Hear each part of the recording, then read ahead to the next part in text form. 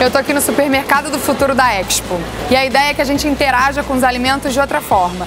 Esses painéis, quando você escolhe o que você vai comprar e aponta para um alimento, eles trazem todas as informações que você precisa saber. Informação nutricional, da onde aquele alimento veio e principalmente a pegada de carbono dele. Então você pode, na hora de comprar, fazer uma escolha melhor para você e para o planeta.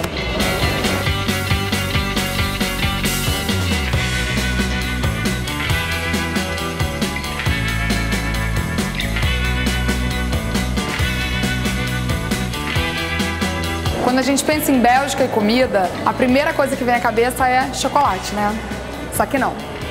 A proposta da Bélgica é que a gente troque a carne, como a gente conhece hoje, pelos insetos. Pra gente no Brasil pode parecer muito esquisito, mas hoje mais de 30% da população mundial, 2 bilhões de pessoas, já comem lagartas, gafanhotos e outros bichos que eu nem sei o que, que são. A pegada ecológica dos insetos é muito menor do que de qualquer outro tipo de carne.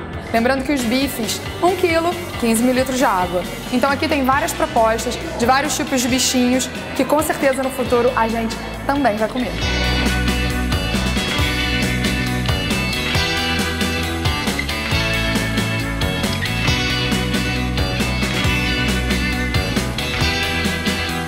Aqui é o pavilhão do Reino Unido e eles resolveram mostrar de uma forma muito criativa a importância das abelhas para nossa comida. E aquela estrutura de ferro ali atrás é a estrutura que simula como é exatamente uma colmeia. A grande questão da abelha é a seguinte, ela não se desenvolve se tiver poluição. Então as abelhas são responsáveis por uma grande parte da polinização do mundo e consequentemente a nossa alimentação estão correndo risco também de diminuir sua quantidade.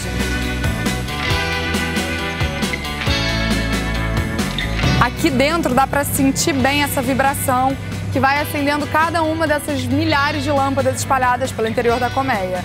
Tipo essa. A luz fica aqui dentro e ela vai mudando de intensidade de acordo com essa vibração das abelhas lá na Inglaterra.